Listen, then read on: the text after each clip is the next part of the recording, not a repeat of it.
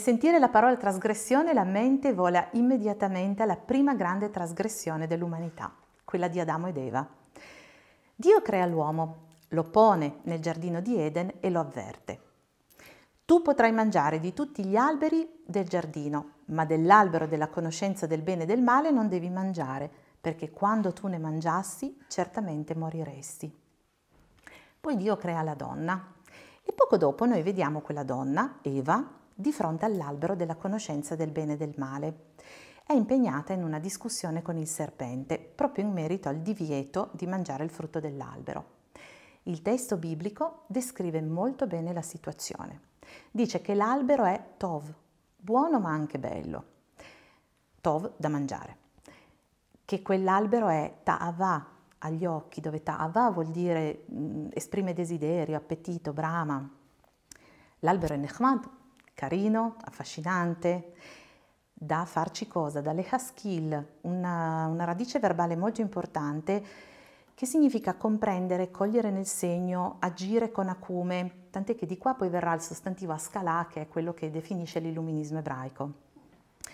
In poche parole noi potremmo dire che quell'albero è davvero irresistibile, sia per i sensi che per la parte più razionale. E quindi come resistere alla tentazione di trasgredire? Ma soprattutto, bisogna resistere o vale la pena buttarsi? Eva ci pensa e poi decide che vale la pena assaggia il frutto e ne dà al suo compagno, perché a prevalere in entrambi è quel desiderio forte di conoscenza, quella conoscenza che viene dall'albero e che porta a comprendere, a imparare, ad acquisire consapevolezza. Quando Adamo ed Eva acquisiscono consapevolezza, si accorgono di essere nudi, ovvero vulnerabili, ovvero sentono la loro umanità. In quel passaggio in cui scelgono di dare ascolto al desiderio, diventano adulti. Non sono più bambini che scorrazzano beati in un luogo senza responsabilità. Il giardino di Eden è l'immagine dell'infanzia eh, in cui si conosce la realtà attraverso i sensi, ad esempio mettendo in bocca la mela. E c'è qualcuno sopra che è sempre pronto a rimproverarti se trasgredisci. Nel giardino di Eden non hai responsabilità e in effetti appena Dio si arrabbia, i due giocano a scaricabarile come fanno i bambini. Non hai responsabilità, ma non hai neppure la gioia di esserti guadagnato le cose. Non hai mai scelta, semplicemente giri, così, nudo, senza coscienza di te.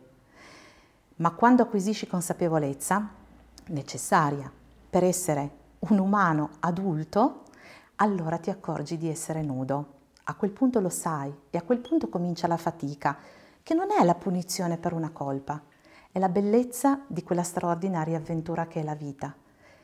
La cacciata dal giardino di Eden è per così dire il calcio nel di dietro che riceviamo quando è ora di crescere. Perché il giardino di Eden non è un luogo per esseri umani, è una gabbia dorata e di lì bisogna uscire per entrare nel mondo vero, in cui si fatica per ottenere risultati, ma si ha la libertà delle proprie scelte si sceglie di amare, di fare la propria strada, di studiare, di lavorare, di girare il mondo, che è davvero grande e variegato al di fuori di quel recinto del giardino. Si sceglie la trasgressione per diventare adulti e responsabili delle proprie scelte, così come delle conseguenze delle proprie scelte. Trasgredire e capire di essere nudi è anche accettare il proprio essere finiti, è prendere atto del fatto che non si è onnipotenti, come in effetti i bambini credono di essere. Trasgressione non significa essere trasgressivi, ma avere il coraggio di agire, anche andando controcorrente, quando sono in ballo i desideri veri e profondi che ci abitano.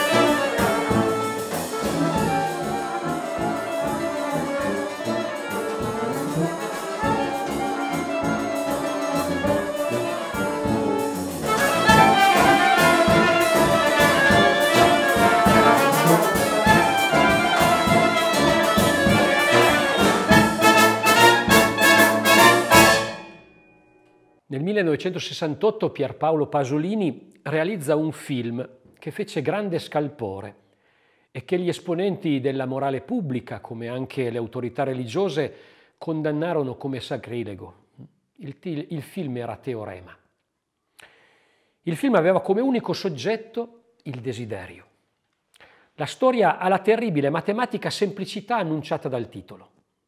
Un giovane, bello come un angelo, o seducente come un demone, arriva in una famiglia borghese e grazie alla sua aura o forse ancora di più all'evidenza della sua virilità, seduce quasi senza volerlo l'intera famiglia. La serva, il figlio, la madre, la figlia, il padre, che era un industriale. La madre va in cerca di uomini, la figlia cade in uno stato catatonico, il figlio immagina di essere un pittore come Francis Bacon eh?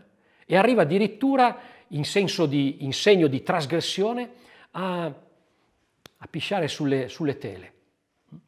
La serva diventa una mistica, in preda ad estasi. Il padre addirittura dona la fabbrica agli operai. La fine del film, vediamo il padre nell'atrio di una stazione. Sembra che sia in cerca di un amante. Ma ecco che all'improvviso si spoglia e si mette a camminare nudo lungo il marciapiede in mezzo ai viaggiatori. La sequenza successiva lo mostra nudo ma in cammino tra la sabbia di un deserto. Si mette a correre e grida nel deserto. La sequenza rimanda ad una delle prime immagini del film, che mostra un deserto battuto dal vento mentre una voce fuori campo dice e Dio condusse il suo popolo nel deserto. Nel deserto. È lì che vengono condotti coloro che sono consumati dal desiderio, che trasgrediscono, coloro che il deserto lo portano dentro di sé. Tu lascerai tutto e mi seguirai nel deserto. Ecco quel che esige il desiderio, la trasgressione totale, il lasciare tutto. E il versetto del Vangelo non significa semplicemente che bisogna abbandonare i beni terreni per l'amore di Dio. Dice di più. Tu lascerai Dio stesso e ti inoltrerai in un deserto ancora più puro di Dio. In questo senso il desiderio è esilio, è trasgressione e essere continuamente attraversati da una forza che rompe incessantemente l'ordine costituito, che impedisce di accasarsi, sia la casa qualcosa di muratura, sia la casa un insieme di norme, di abitudini. La trasgressione però richiama obbligatoriamente la legge si può trasgredire perché c'è una norma da trasgredire, c'è una recinzione da superare o da varcare. Nello stesso tempo, nel momento che si trasgredisce, l'istante dopo la trasgressione si costruisce, proprio a partire da ciò che si è trasgredito, una nuova norma, una staccionata, che è necessario nuovamente trasgredire. Quindi il rapporto norma, trasgressione, vita, credo che stia alla base del desiderio. In fondo ciò che spinge a trasgredire la norma, con tutto ciò che significa, è la vita. Ciò che si sente profondamente vero e che in qualche modo la norma viene a sfigurare, pretendendo di conservare. Non si trasgredisce semplicemente per seguire ciò che ci piace. Il più delle volte le vere trasgressioni complicano l'esistenza. Anche se la tentazione del mi piace è sempre in agguato. Mi viene in mente su questo tema un passaggio del bellissimo libro Le avventure di Huckleberry Finn di Mark Twain. Huck fugge, fugge dalla, casa, dalla casa della vedova Douglas e dalla e da Miss Watson eh, che lo volevano far diventare un bravo ragazzo. E si imbarca su una zattera in, corpa, in compagnia di Jim, uno schiavo nero fuggiasco. due grandissime trasgressioni per seguire il suo desiderio, il desiderio di libertà. Due grandi trasgressioni dalla civiltà rappresentata dall'affetto di Miss Watson e la compagnia di uno schiavo fuggiasco. Due cose che assolutamente non si devono fare perché facendole si va all'inferno. Ad un certo punto nella storia H, ad H è data la possibilità di tradire Jim, di denunciarlo. E in questo modo avrebbe guadagnato da una parte dei soldi, ma ancora di più avrebbe potuto redimersi, entrare in paradiso. La risposta di H è lapidaria. Benissimo, io ci vado all'inferno. In quel momento H decide che è malvagio, che terrà fede alla sua malvagità e che tanto per cominciare cercherà di salvare Jim.